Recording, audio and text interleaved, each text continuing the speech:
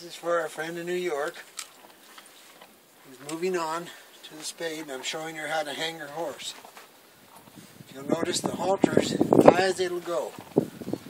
That way it doesn't get in the way of the bit. The object is to hang the horse on the ring so that the horse's head is comfortable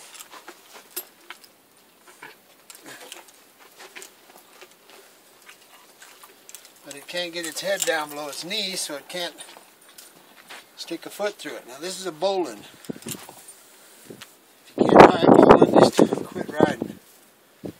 That's the bowline knot.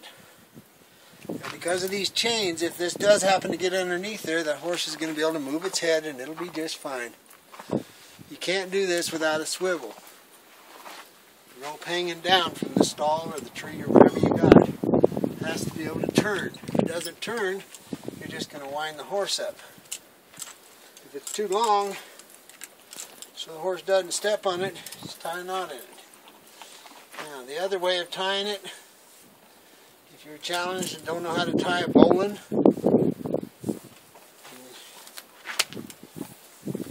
simply tie it like you do to the hitch rack. Problem is, you got the tail of the rope in the way. So get it out of the way so the horse don't chew your popper off. The, main deal to remember is you simply get the horse where it can walk in a circle, stand, and it will balance the bit over time itself.